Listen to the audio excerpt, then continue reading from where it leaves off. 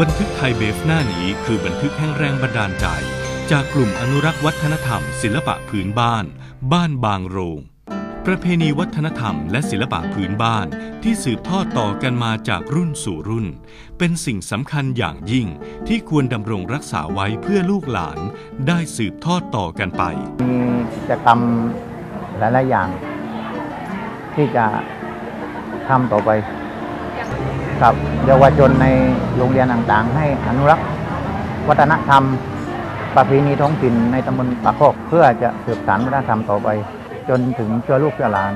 เมื่อหมดยุครุ่นของผมแล้วต่อไปจะต้องมีรุ่นหลานรุ่นเหลนต่อไปเรื่อยๆ การอนุรักษ์วัฒนธรรมและศิลปะพื้นบ้าน ของกลุ่มอนุรักษ์วัฒนธรรม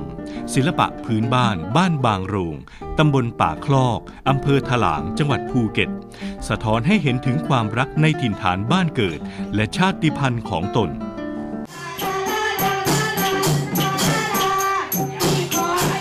อยากฝากลูกฝากหลานอะ ให้สนใจเรื่องกองยาวหน่อย เพราะว่ามันจะได้ช่วยให้อ่า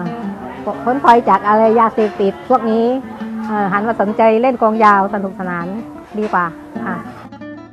สิ่งสำคัญที่สุดในการอนุรักษ์ สืบสารวัฒนธรรม และศิลปะพื้นบ้าน คือการได้รับแรงบันดาลใจจากคนต้นแบบรุ่นก่อนๆกับการรวมพลังของคนในชุมชน แล้วส่งต่อแรงบันดาลใจ